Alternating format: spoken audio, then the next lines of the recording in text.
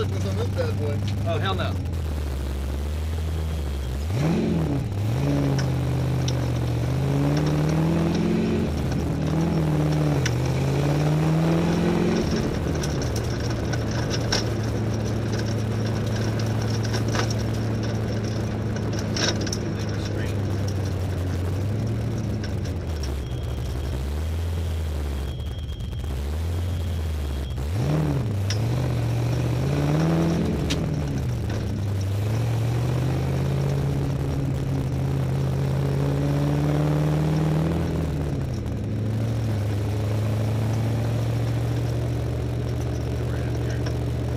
Take a right.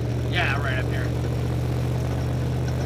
I'll show you it's crazy. So while we were in New York, there's a fucking shooting over here. A shoot. Oh, you tell me that. So uh, yeah, apparently, I I don't know. He had tried to break into another house or break the doorbell. I he was drunk. Uh, This house right here on the corner. This house right here. Yeah. And you're not sure he was, but Uh, yeah, I think he was basically drunk because he had tried to get into a house like down the street, and then somebody like yelled at him through the door, and he went away. oh, And apparently, I don't know, this guy woke up and he found he saw him in the backyard. So uh, to right.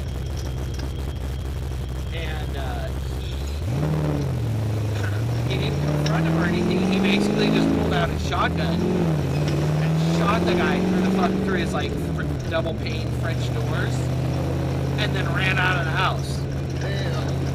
So they said it was they said it was a good shoot at first, going to hang a right turn. And um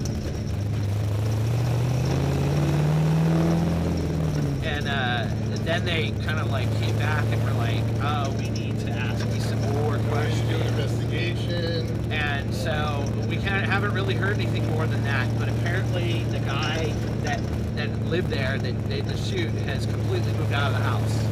Oh, Didn't want any more trouble, huh? Uh, yeah, I don't know. Apparently there was a few people living there. But the guy that uh, that did the shooting, apparently he's gone. He completely moved out. Left? Yeah.